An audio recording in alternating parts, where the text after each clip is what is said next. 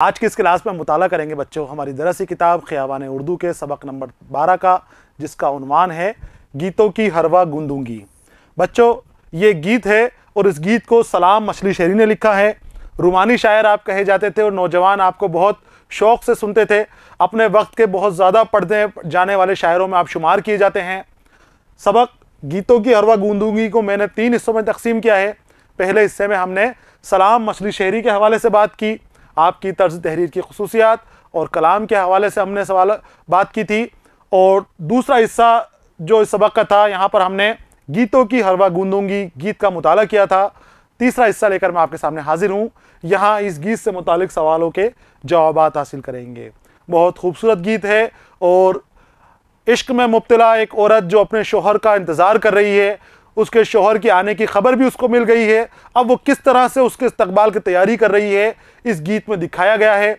बहुत दिलचस्प और ख़ूबसूरत अंदाज में लिखा गया गीत है और रूमानी गीत हमें नज़र आता है। शुरू करते हैं हम इस सबक का तीसरा हिस्सा, जिसका उनवान है मशकी सवालात।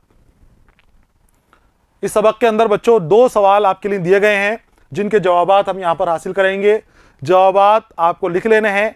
हालाँकि आपको पहले से ही इसके जवाब पता होने चाहिए, क्योंकि जो सबक का दूसरा हिस्सा है, वहाँ पर हमने इसका अच्छी तरह मुताला किया है और इसको समझा है।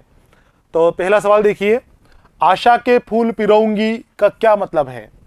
वो कहती है कि अपने साजन के इस्तकबाल के लिए, अपने शोहर के इस्तकबाल के लिए मैं आशा के फूल पिरोंगी आशा यानी उम्मीद।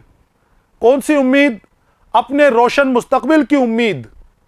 अपने आने वाले कल की उम्मीद कि जब मेरे साजन आ जाएँगे, मेरे शोहर आ जाएँगे तो मैं उनके साथ अपने नए कल के सपने सजाऊँगी।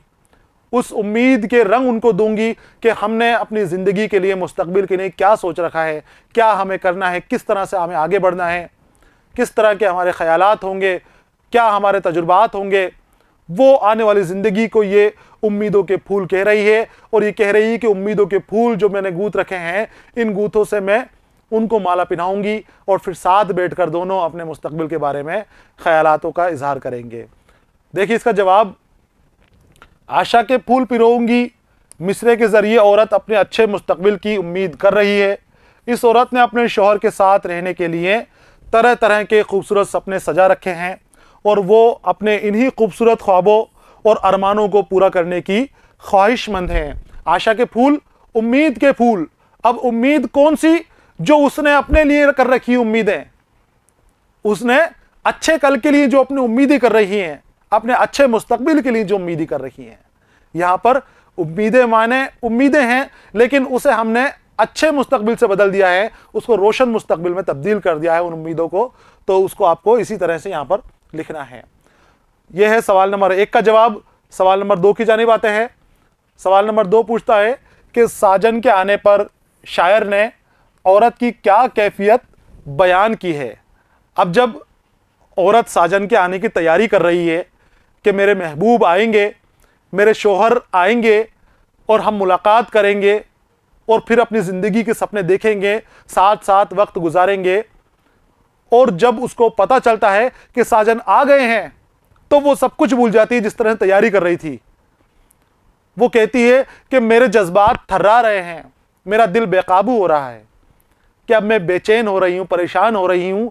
शर्म के मारे मुझे समझ में नहीं आ रहा कि किस तरह अपने साजन के सामने जाऊँ, किस तरह अपने शोहर से नज़रें मिलाऊं। साजन के आने पर शायर ने औरत की क्या कैफियत बयान की है? देखिए इसका जवाब।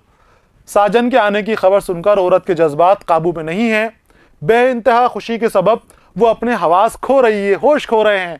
खुशी भी हो रही है, उसको शर्म भी आ रही है, और वो परेशान भी हो रही है, बेचैन भी हो रही है कि बहुत दिनों बाद मुलाकात हो रही है तो जाने कैसी मुलाकात होगी, क्या अंदाज होगा मुलाकात का? उसका खुद पर किसी भी तरह से काबू नहीं है, इसलिए वो खुद को भुलाकर अपने आप को उनके हवाले कर देना चाहती है। तो उसने ये सोचा कि जब मैं अपने आप के ऊपर काबू नहीं पा रही हूँ, नहीं कर पा रही हूँ तो मैं सब कुछ अपने साजन पे ही छोड़ दूँगी, सब कुछ उनके ऊपर ही डाल दूँगी और अपने आप को उनके अंदर ही समा दूँगी। वो अपने महबूब के लिए खुशियों के गीत गाती है। इस तरह की कैफियत उस औरत की यहाँ पर नज़र आती है। यह है सवाल नंबर दो का जवाब और दो सवाल यहाँ पर जो दिए गए हैं, दोनों मुकम्मल हो गए हैं। सबक का तीसरा हिस्सा था, इसी के साथ हमारा सबक भी मुकम्मल हो गया है। अगले सबक के साथ मैं फिर आपके सामने हाजिर रहूँगा। तब तक के लिए इजाज़त दीजिए पढ़ते रहिए खुश रहिए अलविदा।